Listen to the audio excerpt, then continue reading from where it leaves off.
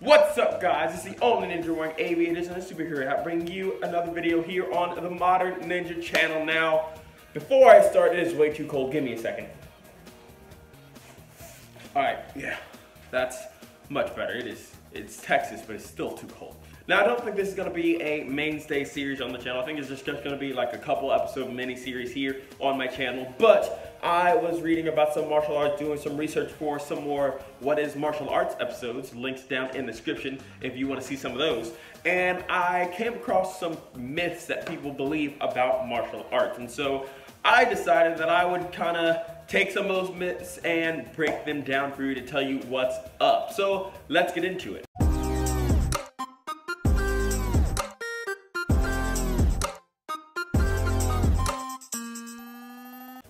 Myth, we have the myth of the legendary ancient martial art that is absolutely the best and will defeat anything if learned by a true master. Basically what the myth boils down to is the fact that people think there is some ancient martial art that is centuries and centuries old and it is the absolute best martial art and it, it's you know it's gonna beat everything it'll beat everyone no matter what uh, it is just the top let me let me break this down into three easy words for you guys. It's not real. You are fake news. Guys, everything grows and evolves with time. For example, phones came a long way from the ancient dinosaurs they used to be to the relative supercomputers that can fit in your pocket. Transportation went from horse and buggy to cars that can go faster than sound.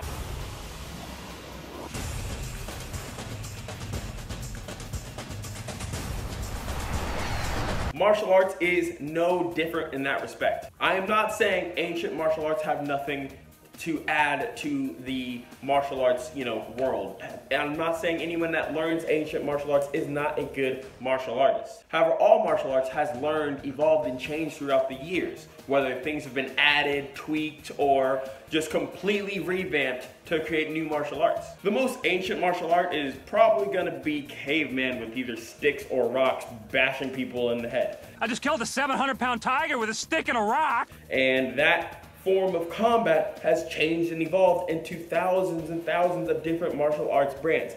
Everything is learning from each other. Everything um, evolves. Even traditional forms like Tang Soo Do Muay the form that I do, and I just actually did a video on it, has taken parts of different styles of martial arts and taken things that people have brought into the art and evolved over time. It has changed over time. So for a lot of martial arts, the ancient elite martial art that it used to be that people have in their head is really just the less evolved version of what people train today. Now, part of this myth is true. So there are many secret styles of martial arts throughout human history, particularly in Asia where many martial arts styles were straight out banned until the existence of gunpowder in the 19th century.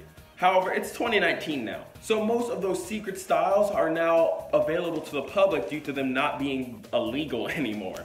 Now, I'm not saying all the styles are super easy to find and there's a school for all of them near you. That's not true at all. However, with a little bit of digging and a little bit of research, you could find basically any martial art that suits your fancy. Whether you want to use it for health, self-defense, sport, or any other use for it. However, just keep in your mind that whether you're doing Tang Soo Do, Taekwondo, Judo, Jiu-Jitsu, Kung Fu, it is a evolved version an advanced version of the ancient form that it, that it started out being.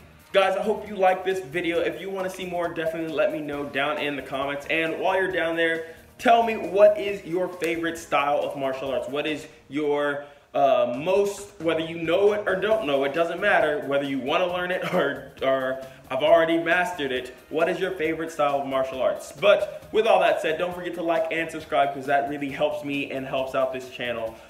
My name's DJ Moore. This is the Modern Ninja, and I'm out.